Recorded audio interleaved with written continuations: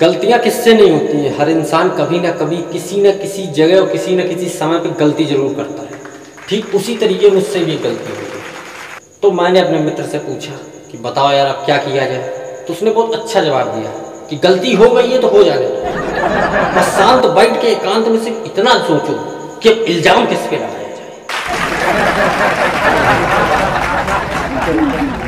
जाए